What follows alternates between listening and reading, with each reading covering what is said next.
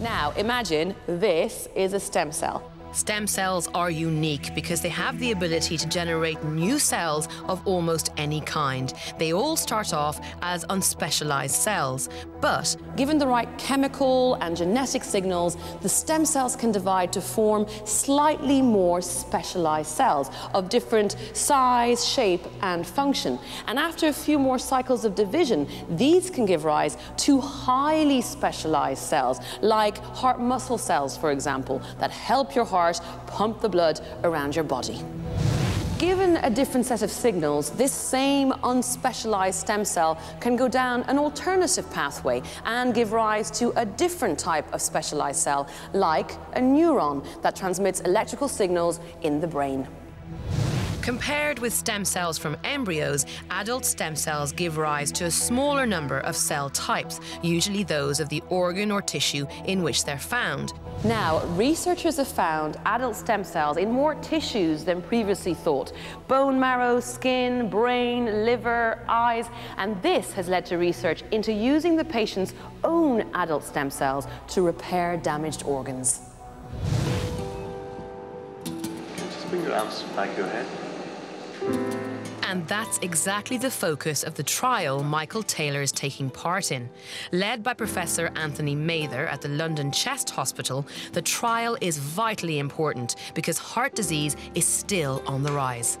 Cardiovascular disease is the number one killer in the UK, with nearly 3 million people suffering with heart conditions in the UK, uh, and about 800,000 people suffering with this condition of heart failure.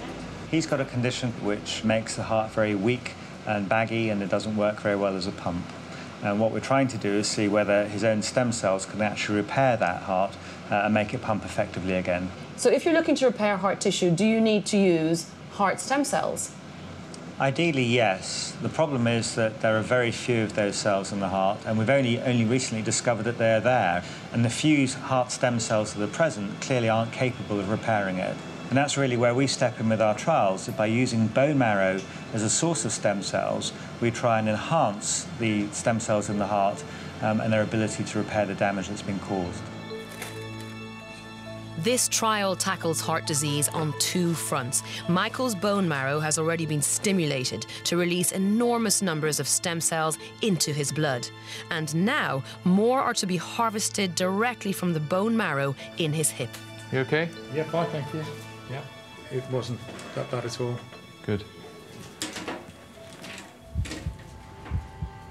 As this is still a trial, only some patients will have these stem cells re injected.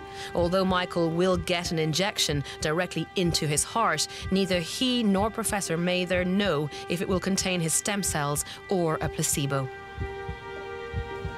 We're about to put either stem cells or placebo into his coronary arteries. Uh, we won't know which until the end of the study when we've treated all of our patients. This uncertainty helps the researchers to rule out the placebo effect from any positive results they achieve.